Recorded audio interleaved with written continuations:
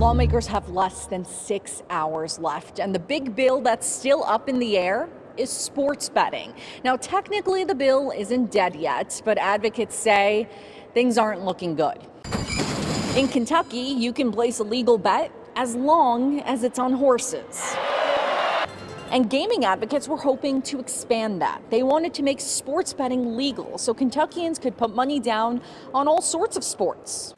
But the Kentucky Senate stands in the way of that. Everywhere I go, people stop me and ask, why can't you pass sports betting? Because in the, the, the region that I represent, it enjoys wide, wide popularity. Senate Majority Floor Leader Damon Thayer is a big supporter of sports betting. He says they're trying to keep the bill alive, but it's a long shot at this point. Unless there's some sort of Hail Mary pass and some undecided switch to a yes, uh, it's not looking good. Thayer says he's frustrated with that. He says polls show that the majority of Republicans, Democrats, and independents want sports betting, and he believes voters could take action and make this an election issue. Next year, after the elections, we're going to have more people in the Senate who are going to be in favor of sports betting than we have today. But for this year, the odds of legalized sports betting, they're not good.